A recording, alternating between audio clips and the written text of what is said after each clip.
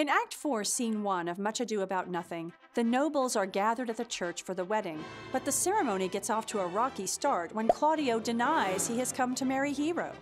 Friar Francis, the official, asks whether anyone knows of a reason why they shouldn't be wed.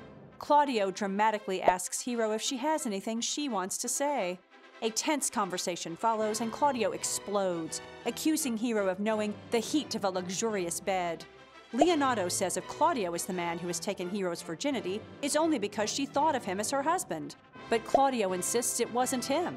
Leonato looks to Don Pedro for help, but Don Pedro supports Claudio. Claudio demands to know to whom Hero was speaking at her window the night before. She swears she was with no one. Don Pedro tells Leonato he and Don John saw and heard a man at Hero's window, talking about the vile encounters they have had a thousand times in secret.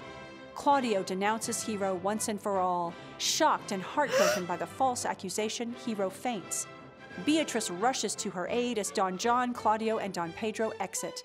Benedick stays and asks Beatrice if she had been with Hero the night before. It turns out the evening in question was, in fact, the only time in the past 12 months the cousins did not share a bed.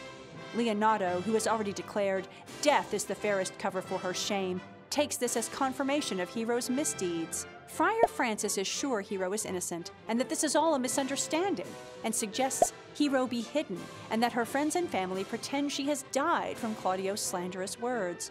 Claudio's rage will thus turn into remorse, and Hero's memory will become more precious to him.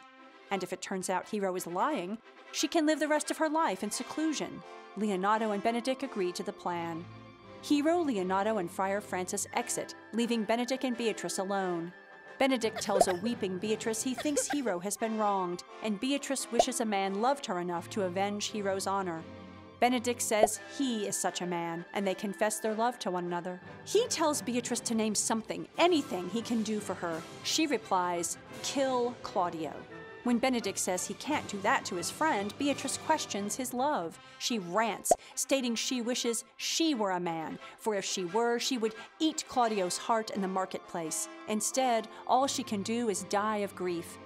Benedick reaffirms his love for Beatrice and vows to challenge Claudio. Claudio's public humiliation of Hero is the climax of Much Ado About Nothing, and Act 4, Scene 1's wedding disaster illustrates the themes of honor, gender politics, and language present throughout the play. Claudio and Hero's relationship is based solely on physical attraction and reputation. Beatrice and Benedick look past each other's prickly exteriors to see the real person inside. Unlike Claudio and Hero, the trust between them is implicit.